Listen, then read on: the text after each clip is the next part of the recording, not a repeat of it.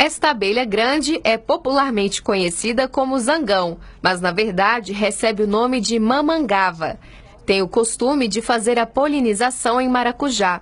Esta outra, à primeira vista, parece uma mosca varejeira, mas é a abelha euglossa. Glossa significa língua longa, e olha só o tamanho da língua que a pequena abelha tem.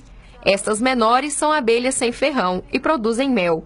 No Laboratório de Ecologia e Comportamento de Abelhas da UFO, é possível encontrar uma coleção de aproximadamente 10 mil indivíduos, principalmente da região do Cerrado.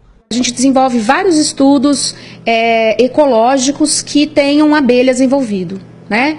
Então a gente tem uma vertente que trabalha com estudo comportamental, é, tem uma vertente que faz trabalhos educativos e trabalhos de extensão dentro da universidade. O laboratório existe há aproximadamente 10 anos. São desenvolvidas várias pesquisas. O doutorando em Ecologia e Conservação de Recursos Naturais, Bruno, pesquisa sobre os serviços de polinização no tomateiro e a importância de áreas naturais. Descobriu que as abelhas ajudam no aumento da produtividade e na melhora da qualidade dos frutos a paisagem que está ao entorno desses cultivos é extremamente importante, que é a manutenção de remanescentes de vegetação natural que são fontes das abelhas, né?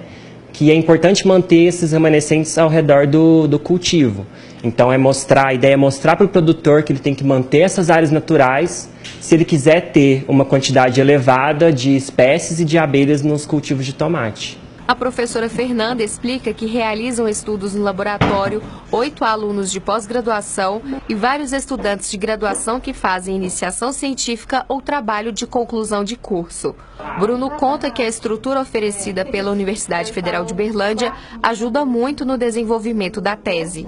É sempre legal né, ter esse intercâmbio entre campo e laboratório, né, que a gente não fica muito preso a uma coisa só. E aqui no laboratório a gente tem feito as análises dos frutos, tem também identificado as abelhas, então tem todos os recursos disponíveis para a gente poder desenvolver o trabalho.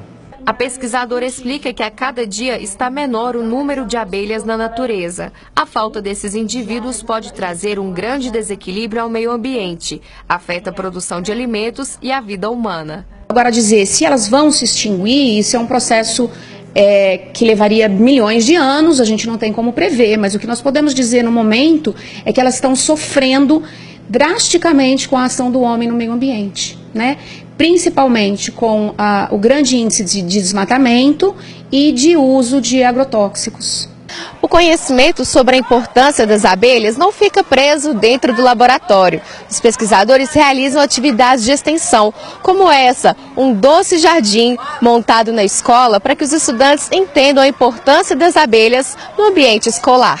Sem as abelhas não ocorre a polinização. A CAPES financiou o projeto de extensão A Invasão das Abelhas na Escola.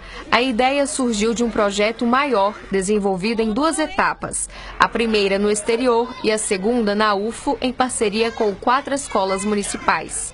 Na primeira etapa, nós participamos de uma imersão na Inglaterra e na Escócia, onde nós fomos conhecer as atividades extraescolares e em espaços não formais realizadas por eles né, com o propósito de trazer essas ideias no Brasil e de pensar numa forma de aplicar com o nosso público escolar, principalmente.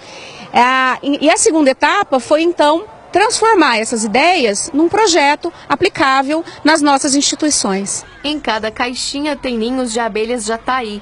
Elas não têm ferrão e produzem mel, uma espécie fácil de encontrar em área urbana. O Doce Jardim foi montado por 35 estudantes e professores da Escola Municipal Professor Ladário Teixeira, com a ajuda dos pesquisadores da UFO. A gente traz de tempo em tempo para ver como que está o jardim, se está precisando assim, mais flores para alimentação das abelhas. Se tiver poucas flores, tem um tipo de um xarope que a gente passa, faz a alimentação para elas e as crianças ajudam e gostam muito. Em breve, o estudante do nono ano, Igor, vai se formar. Até lá, aproveita o tempo para ensinar alunos de outras séries a cuidarem bem do jardim e, assim, garantir a permanência das abelhas na escola. Pretendemos é, ensinar os estudantes, né? Porque, às vezes, muita, muitos estudantes acham que é coisa à toa, só enfeite, mas não é. é. Tem que saber a importância das abelhas da escola.